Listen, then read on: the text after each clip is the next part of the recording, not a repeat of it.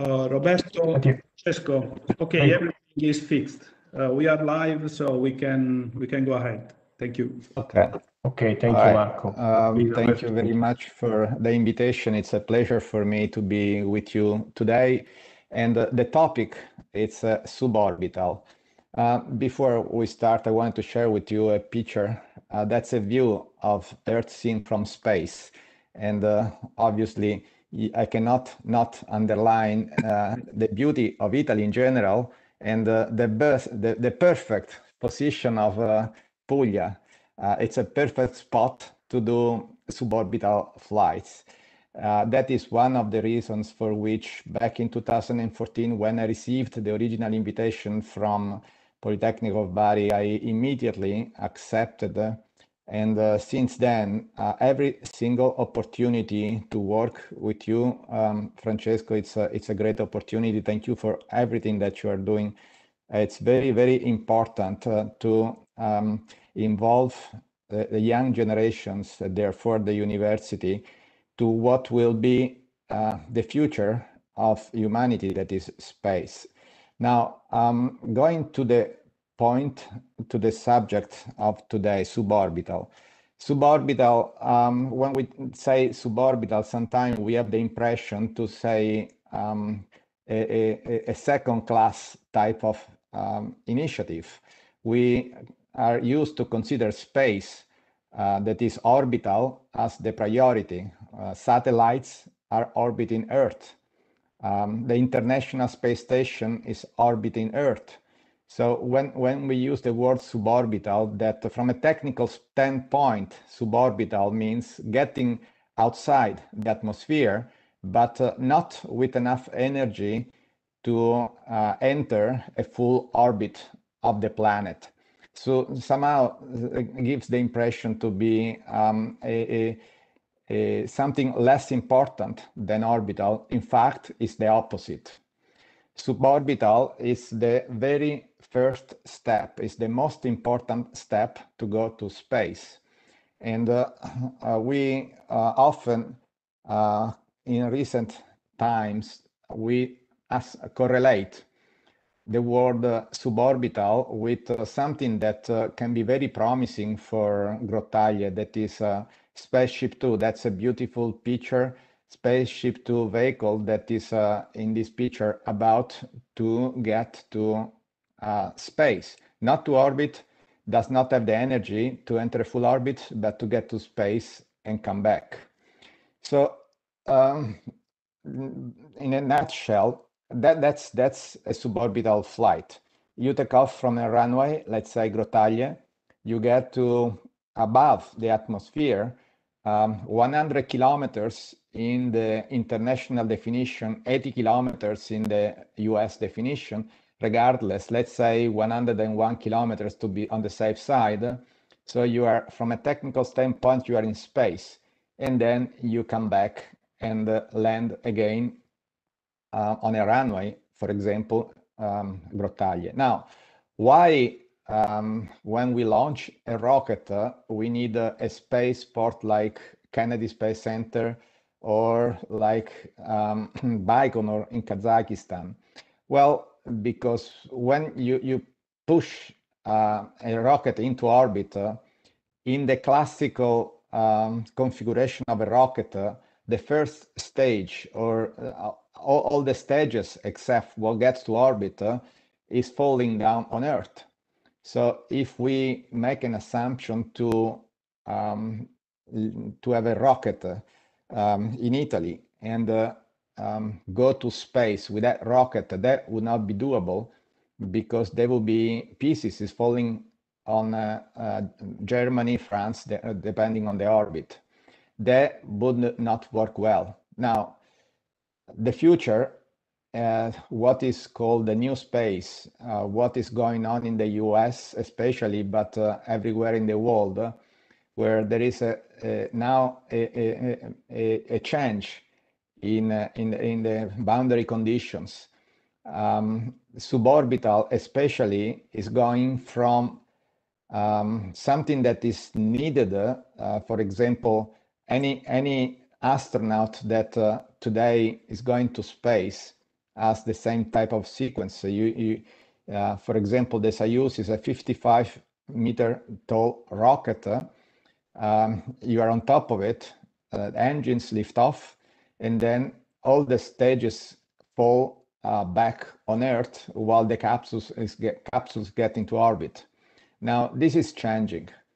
This is changing very rapidly uh, for a number of reasons, and uh, especially uh, for uh, the effort of a specific company, a specific person. The company SpaceX and the person is Elon Musk. Uh, Elon Musk was able to prove something what, that was unconceivable, that is the landing of the first stage. In this picture, you see two beautiful landings of uh, um, the first stages of the Falcon 9 Heavy, first time in history. And uh, again, um, starting from 1957, when the Sputnik was launched, uh, throughout the years, it was considered unconceivable, impossible, a, a, full landing of the first stage. In fact, Elon Musk changed history by proving through artificial intelligence, very complicated uh, algorithm of artificial intelligence, he is landing the first stages. Now, next step for Elon Musk will be to land the entire rocket. but that is not yet a reality. Uh, today, he tried again uh, this morning, 8 a.m. Uh, Eastern Standard Time. He tried with serial number, let me find a picture here. Serial number 11. This picture was serial number 10. Um, serial number 11 took off from Texas, went to uh, 10 kilometers, and uh, unfortunately crashed upon landing. Now, this picture was the previous serial number, serial number 10, and it did uh, land. Now, um, all, all, the, all the previous serial numbers, 1 to 9, they are all uh, destroyed. That, that's uh, a, the new attempt, the new system, the new way of doing space that uh, Elon Musk specifically, but uh, in general, the private um, actors are putting in place. See, differently from the past, uh, um, the, the risk of the uh, new private actors that are taking is very high, but uh, it's very rewarding because uh, they, they, they push the border of technology much faster. Now, everything that is currently going on is uh, fully applicable to the word suborbital and will be a game changer because uh, once you prove and uh, you, you make the landing of the first stage a given, then you no longer have the need of uh, getting to spe special places to have spaceports. So going back to Puglia, you could uh, uh, take off with uh, a starship, get to orbit, come back and land in Puglia. That will be a game changer. And uh, again, it's not the future. It's uh, a, a, a, ongoing effort uh, with an already partial success with Elon Musk landing the first stage of the Falcon 9. Now, it's not only Elon Musk. That is uh, his uh, um, counterpart, um, Jeff Bezos, with um, Blue Origin and New Shepard. This is a, a very similar concept. The New Shepard is lifting off, getting to space above 100 kilometers and uh, landing. Now, the difference between uh, um, the, the SpaceX effort uh, and uh, Blue Origin, and uh, Blue Origin is, uh, is primarily an elevator. It goes up to 100 kilometers and back. He never tried to reach orbital speed. The case in the, instead of the, the, the Falcon 9 is different. The Falcon 9 is used to put satellites uh, in orbit and then they reverse trajectory, come back, slow down, and land. So in a nutshell, suborbital, it's uh, in reality the future. It's uh, um, anything that uh, we will do in the future will be primarily around uh, the technology that are pivoting around the, the, the, the concept of suborbital. Now, going back in history, um, that is a V2. Um, the, the very first time we, uh, human technology was able to, to prove that uh, uh, objects can get outside the atmosphere. And uh, if you look on the left, on the right, it's, it's, uh, it's, it's very, very strange. The V2 and the Starship have a similar, similar shape. In fact, anything that uh, we have done in the last 60 years um, primarily have been focusing on uh, uh, the misconception that, uh, again, suborbital was just um, important part, but uh, nothing more than that. An important uh, uh, way to get things to space, but not useful on its own. In fact, suborbital, it's uh, by itself the most important part of getting to space. Um, this is another um, the, the, the, the, word suborbital can be seen from two different perspectives. One is the rocket that is going to space with the first stage pushing and uh, in the new approach of Elon Musk capable to land. The other is with the aircraft that is becoming a spacecraft. So that is another key uh, part of our discussion today. I, I, I want to uh, clearly underline the distinction between aerospace and space. Anything that is uh, within the 100 kilometers of the atmosphere, in reality the atmosphere is much bigger, but uh, then the density is so low that is insignificant. When we talk about anything that flies, let's use 100 kilometers as a reference. So in, in, in the atmosphere, the, the forces is aerothermodynamics. When you are in space, like the International Space Station, 400 kilometers, like um, low Earth orbits, uh, 2000 kilometers or, whatever, that uh, is the inertia principle, principle that is ruling. So we, we usually confuse uh, within the word space everything together in reality, they, they belong to a totally different um, domain from a physical standpoint, operational standpoint, and technological standpoint. Now, going back to our topic, suborbital, we have uh, two different approaches. We have uh, um, the Elon Musk approach with uh, the rockets that uh, uh, have the capability to land and we have uh, another possible approach, the Virgin Galactic approach of aircraft that are becoming spacecrafts. This picture, it's uh, a, a, one of the most beautiful aircraft ever made, is the X-15.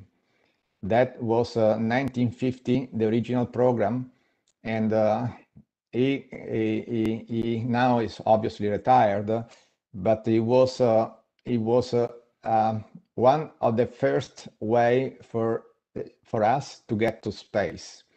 We all know that uh, Yuri Gagarin was uh, the first human being to go to space. We do not know uh, so well who was the first to go to space twice. It was John Walker.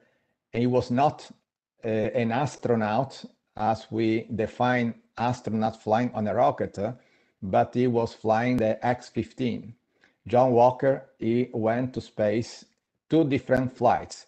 What, what is the difference between that? That's another image of the beautiful X-15.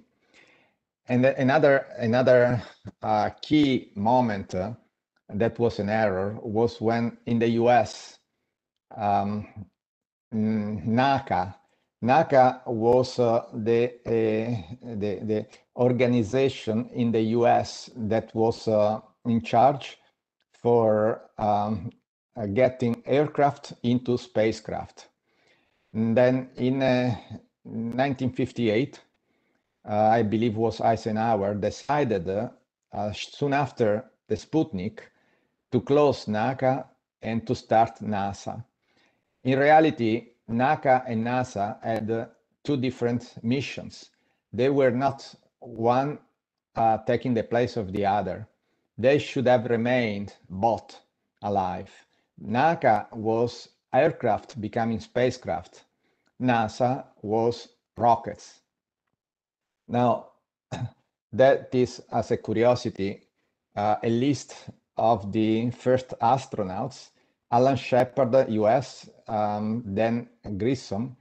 But uh, the first one, if you look number three and number four, the first uh, that uh, went to space twice, only one month, one to the other, was jo Joseph Walker on uh, the X-15.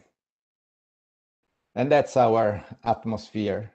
Um, I, I, like to call it an atmosphere that could be uh, like one step after the other 20 50 85 120 we do not have the 100 uh, again that's the Kármán line. Usually we consider uh, 100 kilometers as the line above which anyone that, that gets above that is an astronaut. Now virgin galactic is instead using 80 kilometers regardless. In reality up to 20 kilometers is uh, the aeronautical band. From 20 to 50 is still uh, very dense, the atmosphere. Um, from 50 to 85, there it's a, a, a another um, transition area. It's very uh, difficult, if not impossible, to have level flights between 50 and 85. So um, what is uh, the difference between uh, uh, the aeronautical and future evolutions of the uh, aeronautical part and space, it's uh, in between 50 and 85.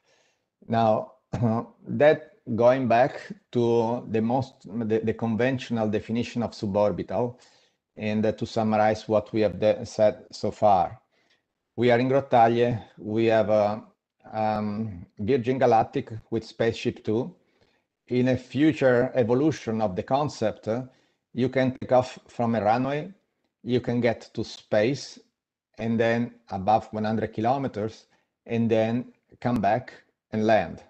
Now, in doing that, what is the, uh, the game changer? Why suborbital is so important? Because uh, once you land in such a profile, you can refuel and go back in space. The word reusability is uh, very closely connected with the concept of suborbital. The word reusability, it is what is changing from the classical approach to space and the new space. Reusability is the key word that Elon Musk with SpaceX is focusing on to create uh, the technical opportunity of the landing of the first stage the reusability it's uh, it's more it's more it's easier to correlate with uh, aircraft we all know that uh, when we uh, take off from Fiumicino and we land uh, to Bari the, the aircraft is refueled and then it goes back to Rome all aircraft are reusable uh, rockets are not reusable at least until now now i was very surprised uh, Elon Musk is a genius. Uh, I, I, never thought you could uh reuse rockets. The reusability of a rocket, uh, it's a little bit uh, of a, um, a, a, contradicting concept because the rocket have engines that by definition are pushing up. And if you use the rockets to slow down the descent, it is possible, but the center of gravity is in the wrong place. So physics is against you. However, now uh, we have artificial intelligence that uh, can do what human brain and uh, human beings cannot do. And that's exactly what Elon Musk uh, he, he tried to do and succeeded. he is capable, I, I call it, uh, make it uh, rockets into aeronautical objects, making rockets reusable. Um, for the future, we, we will have uh, both options. We will have uh, um, the continuation of what Elon Musk is doing, that is the uh, landing and reusability of rockets, and we'll also have aircraft evolving into spacecrafts. In Italy, with um, Grottaglie, with we, we, we engaged Virgin Galactic in order to pursue this second uh, path that in reality for me is the, the, the, most promising aircraft that will evolve into spacecraft.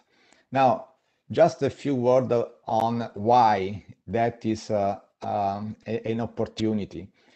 Um, there are many reasons, but one of the most uh, easily understood is that once you have an aircraft that is capable to get to 100 kilometers, you are outside the atmosphere.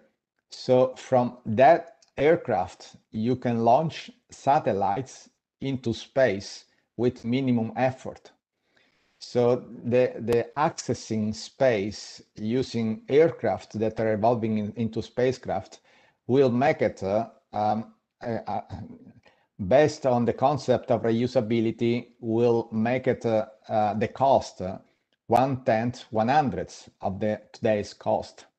So the, the, the future of accessing space is pivoting around the concept of reusability with the two options, either aircraft that are evolving into spacecraft or rockets that are capable through, again, very complicated algorithms of artificial intelligence to return and land on a, on a, on a, on a runway or on a pad. Now, uh, going beyond uh, low Earth orbit, the scenario is different. And uh, if we think about going on the moon or Mars, Elon Musk solution is the way to go. Aircraft uh, that would uh, have the uh, capability to get to those distances are for the moment unconceivable. So we will need an Elon Musk for the other configuration in order to resolve the technical difficulties to taking off with an aircraft from a runway on Earth and landing somehow on the moon. Um, just we have uh, still five minutes, so then I will leave to questions if there are any. But uh, uh, to complete the picture, uh, when we talk about our atmosphere, 20 kilometers, that is 60,000 feet, it's uh, where aircrafts are flying today. Between 20 and 50 kilometers is still uh, primarily um, aeronautics but uh, we, we are getting to the border. And uh, this is uh, the highest uh, of a, a, stratospheric balloon, 40 kilometers, with uh, Felix, um, this Austrian guy, that jumped uh, to prove the survivability of a high altitude jump. It's still on YouTube. It's it's incredible. Um, it was um, that, that's, uh, that's the edge of the aeronautical band, 40 kilometers, that is 120,000 feet. Then uh, balloon, stratospheric balloon, do not have the capability to get uh, much above that. That's a beautiful picture taken from the International Space Station, and uh, you, you, you, can see uh, slices of the atmosphere. I call it steps and uh, suborbital. Oh, by the way, when when we use the word uh, suborbital, not necessarily uh, have to limit ourselves to 100 kilometers or thereabout. Uh, you can take off, go to 1,000, 10,000 kilometers and come back.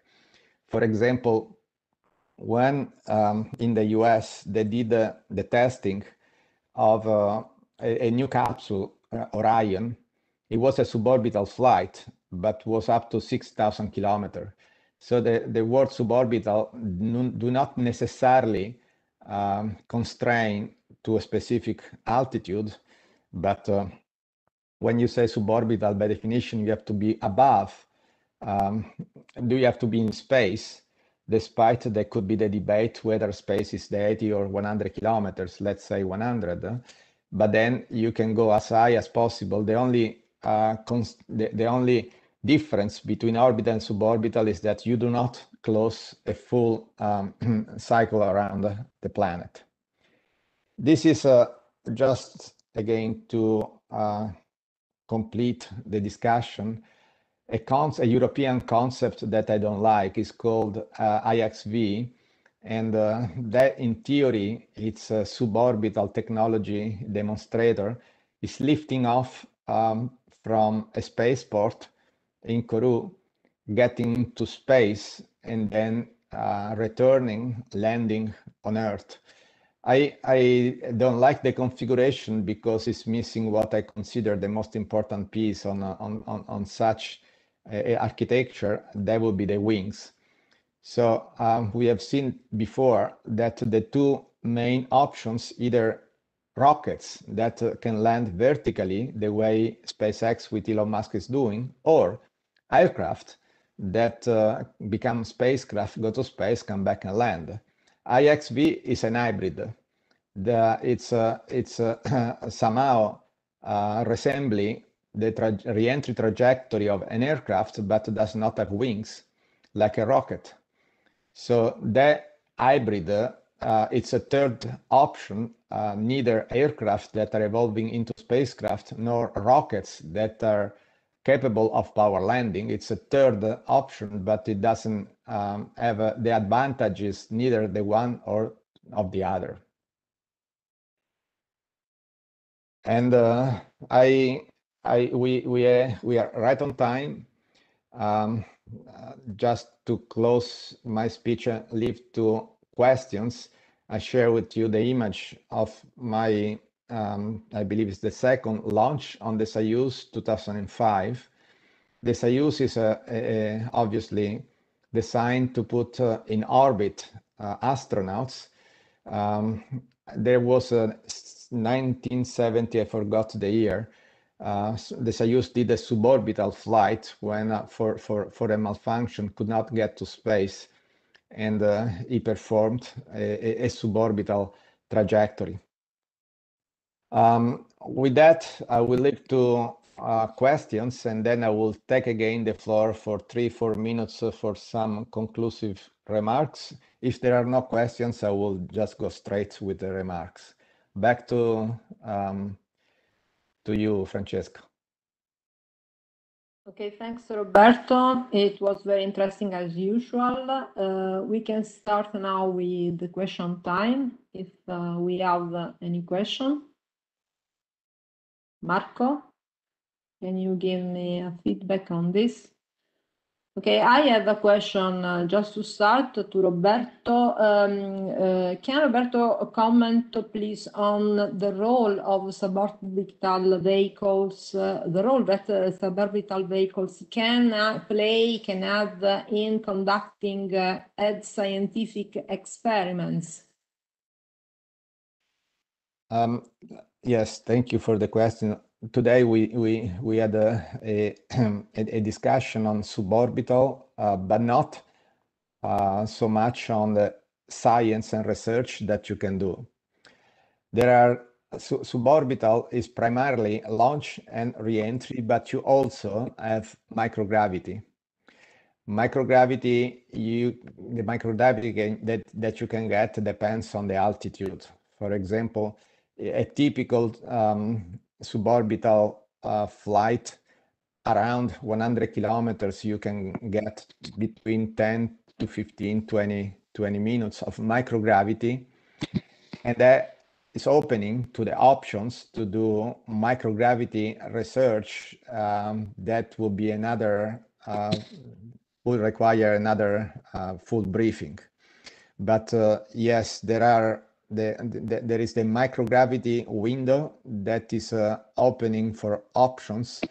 Um, eh, what is nevertheless for me more important uh, than the, those 10, 15 minutes of microgravity is the research that you can do in aerothermodynamics. currently, uh, it is about uh, it is six from 1957, even before. If we if you think about the the the first very first rockets uh, that we launch rockets in space, and uh, since Gagarin, we we uh, reentry we have successful reentries. However, the aerothermodynamics is still widely misun, uh, unknown. Um, we have a number of accidents. We have had a number of accidents, especially the, the, the Columbia accident with the space shuttle in 2003, that was clearly demonstrating that uh, there is still a lot that we need to learn uh, the way uh, aircraft or spacecraft um, re-entry into the atmosphere. That's why the primary focus that I recommend uh, when we talk about the experimental part of suborbital is primarily for the re-entry and for the landing, even if, again, you can get research opportunities for the launch and for the microgravity. Okay, thanks, Alberto. Uh, we have a question from Maria Cinefra. Maria, please. So, thank you, Katia. Uh, I am Maria Cinefra. I have a question um, about the solution of aircraft uh, revolving in um, in spacecraft, and uh, I'd like to know the um, the greatest difficulties in uh, implementing this uh, solution if they are from uh, an aerodynamic point of view or uh, structural point of view. I don't know if you have more details. Uh, yeah, that's that's a, a, very interesting question. So um, aircraft and spacecraft started together almost uh, uh, at the same time, especially in the US. Um, Mercury program and the, the X-15 in fact, had the same test pilots. Neil Armstrong uh, was uh, at the same time NASA astronaut and the test pilot of the X-15. So why um, for the rockets we went a long way and for instead the aircraft we um, after the X-15 uh, we have a long gap. Only recently uh, Virgin Galactic is trying again to start with uh, the concept of aircraft evolving spacecraft. What is the, the what is most difficult? Is the engine, is the uh, is the is the propulsive system. So it, when you when you um, fly on an Airbus or Boeing from Fiumicino to Bari, those are breathing engines. But uh, breathing engines cannot uh, do not have any chance uh, upper high in the atmosphere. So uh, in theory, uh, the, the rockets, the rockets use carry um, hydrogen and oxygen, for example, uh, that was uh, in the uh, orange tank of the shuttle. Um, but if you if you remember the shuttle on the launch pad, um, here it is. That's a picture. I don't know if you can see it. The shuttle, it's uh, the answer to your question.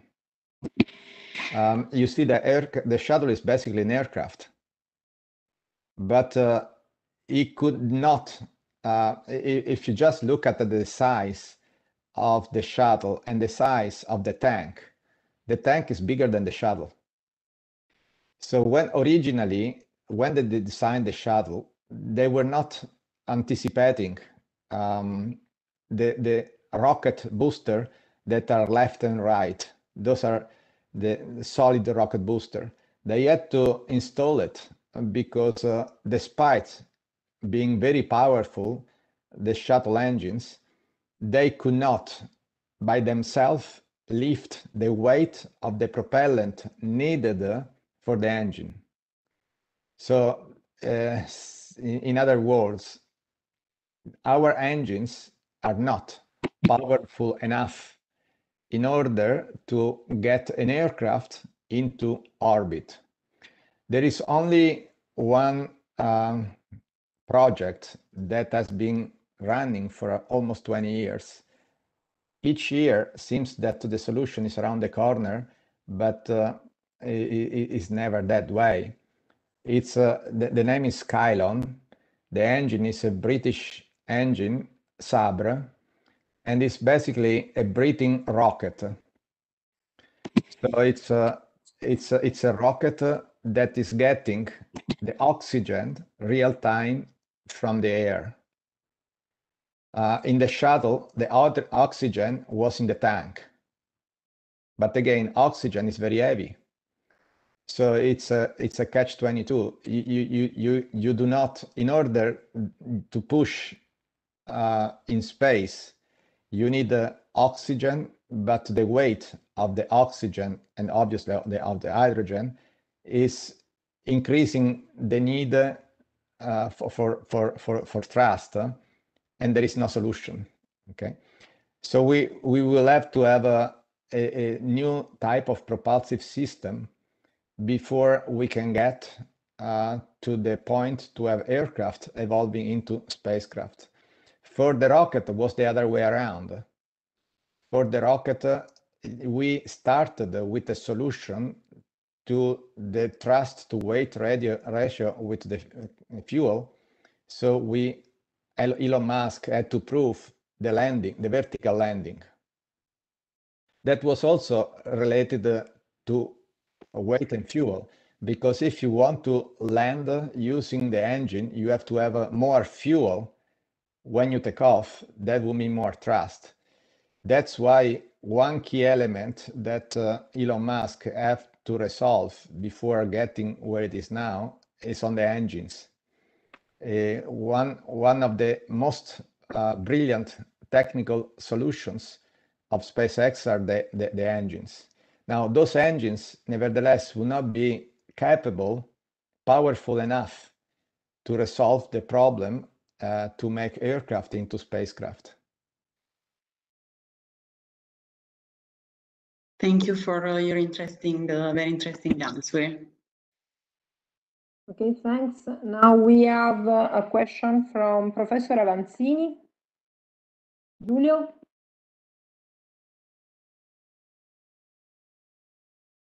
Giulio, can you hear me? Okay, maybe we have Mr. Giulio. Uh, we can now have uh, Professor Albino.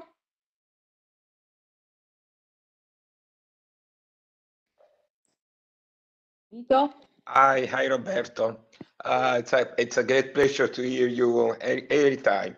Um, so uh, I have a very simple question. You have shown us that um, some US companies are doing a lot in suborbital flights. What are uh, Russian and China doing in the similar activities? That's also a very, very interesting question. They don't do much. Um, currently, um, the, the, the leading nation is the US, not so much for the federal government, but uh, for the uh, private initiatives. First, Elon Musk, Richard Branson, and then everybody else. Um, Russia and China, they do not have the same type of uh, scenario. So they are trying to follow along on the classical approach. Uh, obviously, they are still extremely um, credible and powerful. China uh, primarily is putting a lot of effort uh, but uh, it's all classical space. New space is only in the in the US. Now, talking about suborbital, suborbital is primarily new space. Suborbital, it's uh, in fact something suborbital meant as reusable. Uh, the word reusable, depending how you see it, may be an annoyance for the classical industry because it's it's it's it's it's more uh, interesting on the classical approach to make uh, many rockets uh, rather than to make one rocket uh, reusable. So the the it's uh, even the U.S. even in the U.S. it's not um, a, a linear path for the new initiatives. There is uh, internal resistance even in the U.S. because the classical industry is trying to oppose to uh, those new concepts. Uh, the classical industry is, uh, is very powerful and is trying to, to, to, to slow down. So um, seen from the typical way to see it, you have US, China, Russia, um, and the question is who is leading, who is following? In reality, new space is different.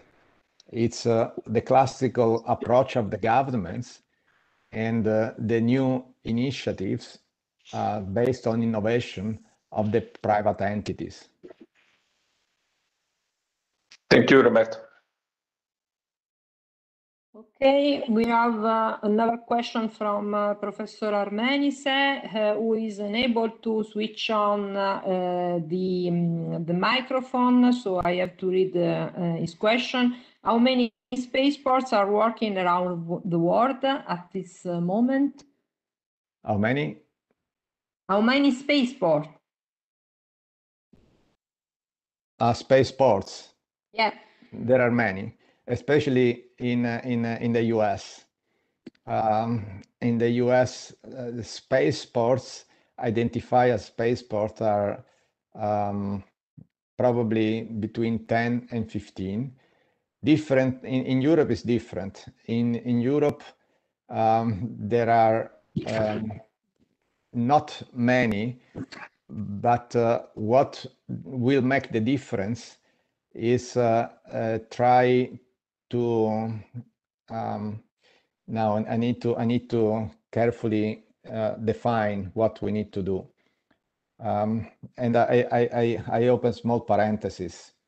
Thierry Breton, that is uh, um, the commissioner at the European Union, is, uh, is uh, dealing, he, he, has space in his portfolio and is pushing Europe um, to go um, and, uh, and, uh, and, and try to find uh, autonomous capability to access space. That's wrong. We will never make it. We are 10, 15 years behind, not the US. Again, the private initiatives in the US is different. So what we need to do is to uh, put together um, an effort, collaborative effort with the US private entities that have an interest to talk to us. And that is uh, um, the, the only solution uh, that I see. So uh, identifying um, a, a, runway as a spaceport is important, it's very important, uh, but it's even more important uh, to give a, a, a, real meaning to that spaceport. And uh, in our case, what I have been pushing so far, and I continue to push, is the dialogue between Italy and Virgin Galactic. Uh, that is uh, a, a, real option and a real opportunity because even for them, there is no better way than Italy, than uh, Puglia specifically, uh, for geography and climate to do suborbital flights the way Virgin Galactic is doing. Okay, thanks, Roberto. Uh, next question is from Professor Avanzini. If Giulio is, uh, is present now. Yeah. I hope that now it works. Can you okay. can you hear me? Okay. Can you hear? Okay, fine. So uh, I I'm uh, I'm sorry that um, uh, Dr. Vittori did not appreciate IXV because IXV is a very nice memory to me because it was my last work before leaving Politecnico di Torino 11 years ago. I've been working on the modeling of the parachute opening and the flying qualities of IXV during the hypersonic phase. So it was a very nice job. And as a matter of fact, the configuration without wings was chosen for limiting the thermodynamic loads during the entry phase. And as a matter of fact, the European Space Agency confirmed that configuration with the new Space Rider, uh, which is expected to land with a parafoil using military technology in controlling the final descent and the terminal phase with the parafoil. So you have a reduction of thermal loads during entry, and in the end, you can, we hope to perform uh, a precise landing on a runway using a parafoil. And do you think this may be an option also for simplifying the configuration of suborbital uh, vehicles, or it's something you really don't like because it doesn't have wing? Yeah, yeah, thank you for the question. I wrote official letter to the ESA Director General to explain what not to do. What not to do is uh, not to confuse engineers with uh, aerothermodynamics are, are similar but not identical. So the IXV is the perfect example of how to use good uh, ingredients into something that uh, has no future. In fact, the IXV uh, proved to be just for itself. It went up, came, came down, and uh, it didn't not uh, add anything more than we knew before. The new versions are even worse because for the first one, IXV, you could uh, say, yes, well, um, we the European industry had never an opportunity to do it. So a first time is important, okay. But now to re, re, repropose the IXV design into the Space Rider, it's uh, will will not add anything to uh, to what we know. Neither will offer from an operational uh, standpoint or research standpoint anything else.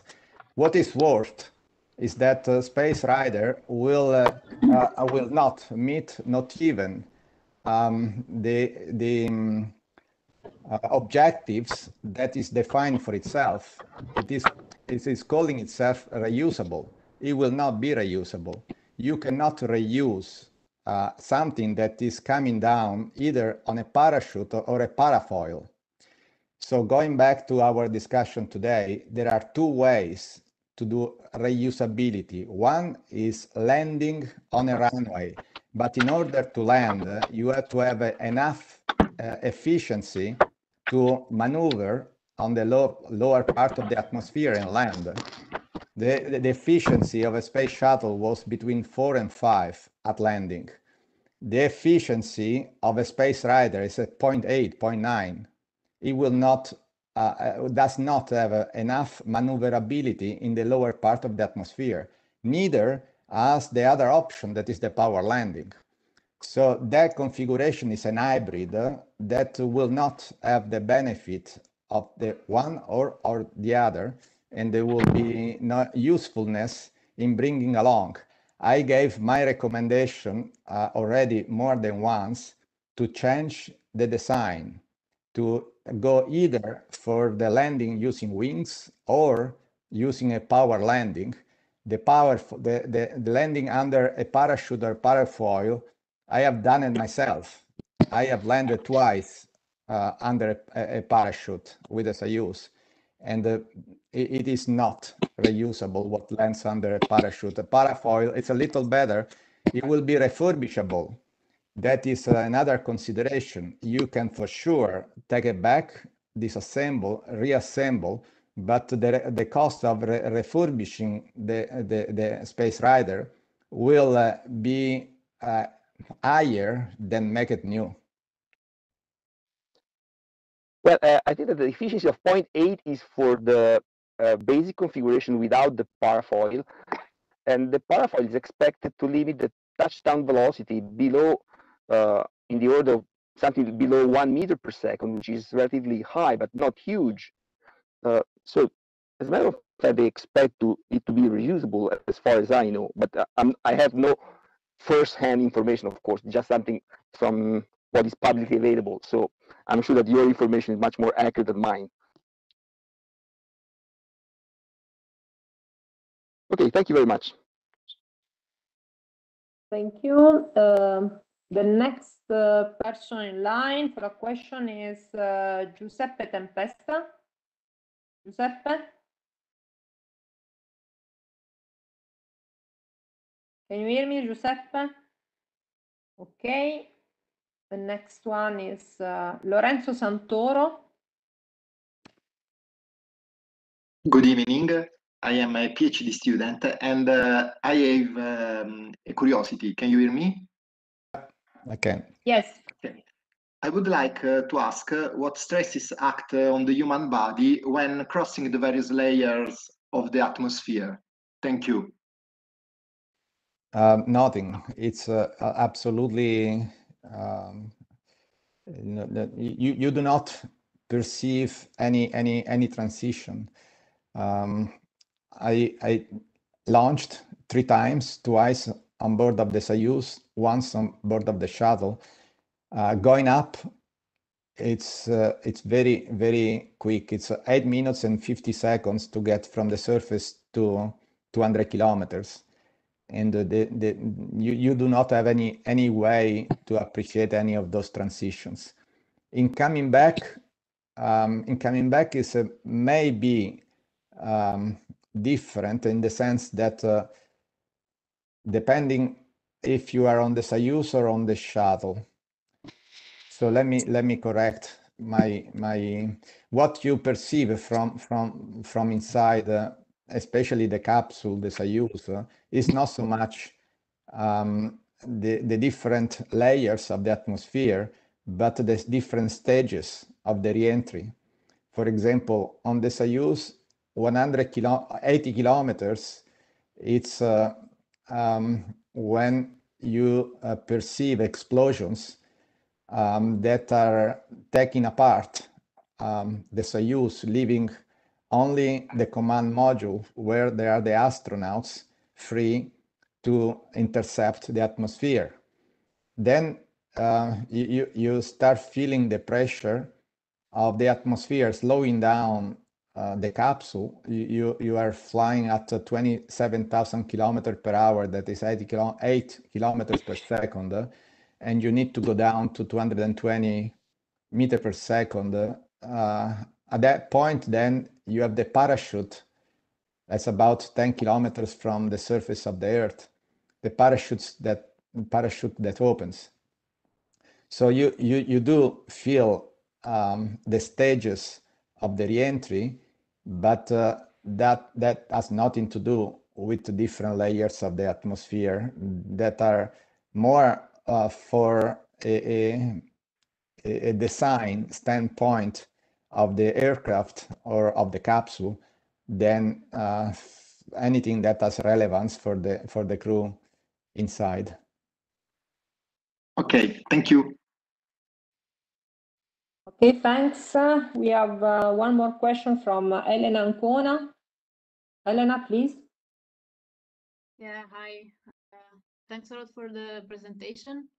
Um, uh, as you were mentioning, the suborbital flight will uh, provide a, a, huge amount of uh, new possibilities, even not only in the research field, but also, for example, in the tourism or a lot of uh, different uh, areas.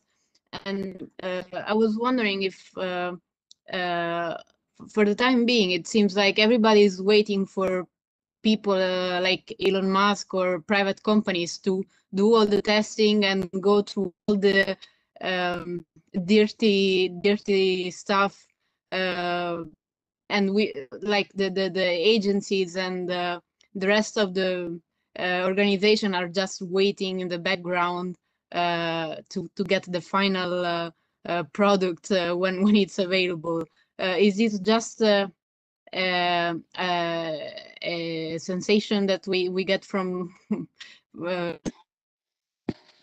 from do you think we we can get the the agencies and the organization more involved than they are at the at the moment i hope not because uh, uh, space it's a, it's a it's a new domain and more than evolutionary, we need a revolutionary approach that can only work if the, the designer is a genius. So um, Elon Musk is a genius, either crazy or genius, I do not know, but uh, he is making the difference. Um, for Virgin Galactic, uh, uh, the genius uh, was Burt Rutan. He was the original designer, uh, now unfortunately retired. That's why now Virgin Galactic has a number of delays. Unfortunately, it's not easy uh, to go beyond the, the boundary that we have today. And uh, uh, back then there was von Braun. Von Braun was, was Uh, the one that uh, uh, brought the US into space. Um, that, that's that's that's life. Uh, space is it's a it's a very complicated uh, arena. Uh, space, aerospace, space. You need to find solutions to something that it's unconceivable for everybody else. So the more you put effort trying to catch up with uh, uh, people like Elon Musk, you waste your time. You need to work with him. You try. You need to.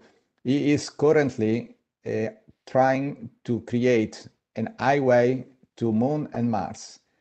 The only thing that we need to do is to get on board.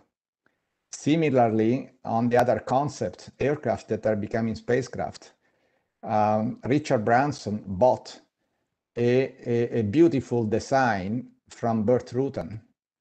Um, Italy has an opportunity to get in that type of discussion.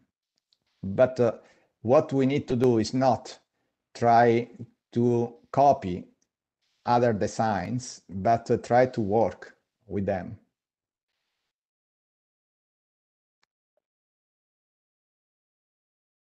Okay. Thank you.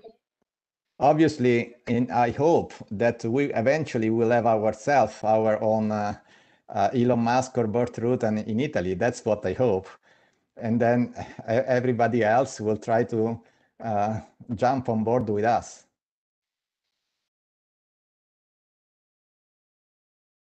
Okay, thanks. Uh, next question is from uh, Martino Pinto. Yes, so uh, thank you. So, Mr. Vittori, is it possible to uh, become, a, um, let's say, a test pilot or an astronaut uh, for a, an engineer, an aerospace engineering student, or is uh, only possible to, like in most part of the cases, to let's say, people with um, avionics backgrounds, and is understandable, of course. Um, so the, the question, sorry, the, the first part was the, about becoming an astronaut?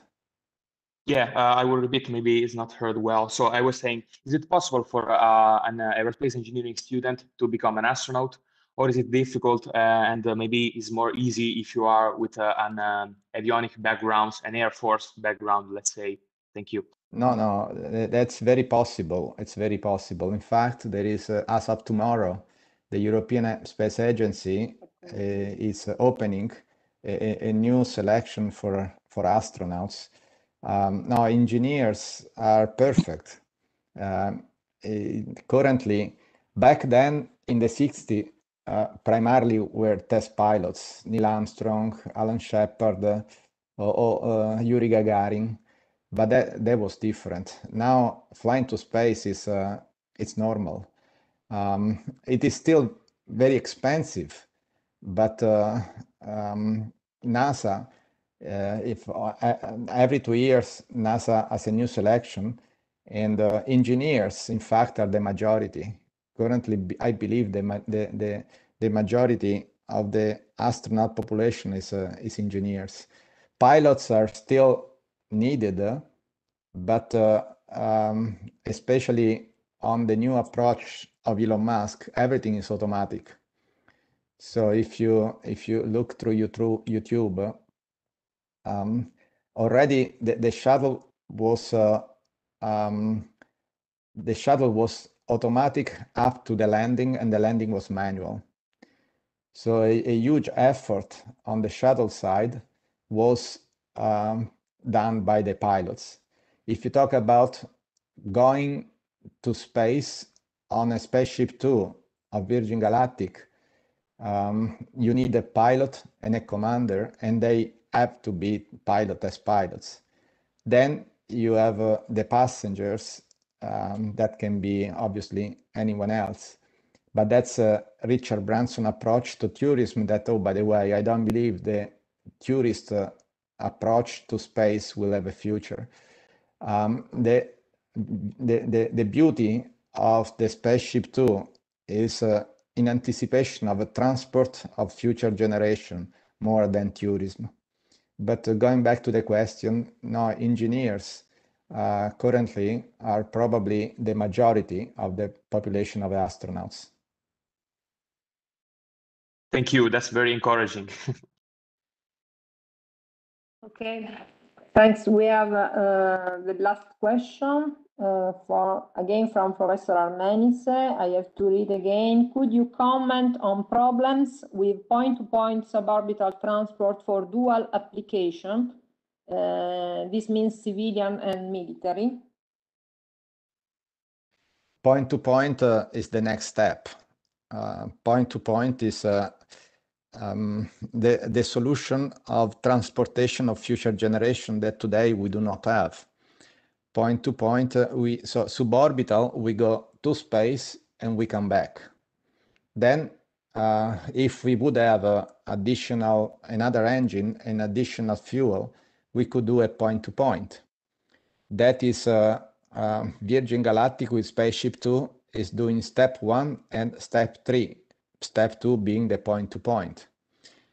We were discussing before why um, the aircraft evolving into spacecraft have, have remained uh, standing by for 60 years because of the propulsive of the engines that we do not have a solution yet.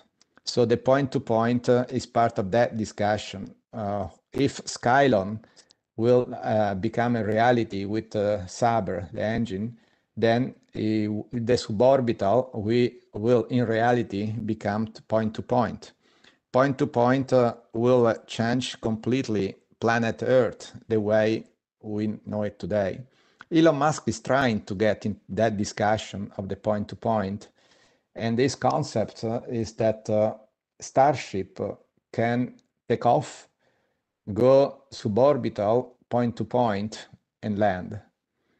I believe for this is wrong because uh, um, I do not believe planet Earth as the atmosphere. Moon is different. Mars atmosphere, but it's 100s. Our atmosphere is very dense. I believe for such a perspective, Elon Musk will not succeed in the sense that uh, point to point, uh, uh, the natural solution for the point to point is the aircraft that is evolving into spacecraft configuration. That is the one that I like the most.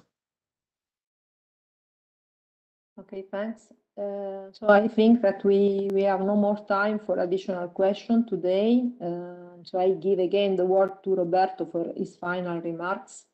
Uh, well, thank you. But in reality, um, the, the, the, questions ended up uh, underlining uh, what I wanted to share as a conclusive remark. So thank you for giving me the opportunity to share with you my experience uh, and my the way I see the future. Congratulations to Polytechnic of Bari and uh, all of you for all that you are doing and uh, anytime I will always be glad to be with you and to give a contribution. Thank you again. Thanks. I thank Roberto very much again for his uh, interesting seminar and discussion. I thank also all the participants. I'm sure that uh, Roberto words have stimulated curiosity and additional idea. So I kindly ask his availability to be contacted uh, directly by you in case. Uh, thanks again to everyone, and I leave the floor to Marco for uh, the final comments uh, uh or uh, something else, I don't know. okay, thank you, Caterina, but I cannot add anything more. So, Roberto, I think that I'm not the only one who wanted to have your experience in space. So, even if virtually, I really thank you for letting us participate in your missions. And as, as Caterina said, uh, I really believe that uh, your contribution continues to motivate our students uh, to be involved in uh, aerospace science and engineering because, as you say, that could be our next future. So thanks again for, for your contribution and thanks everybody for participating. Ciao. See you.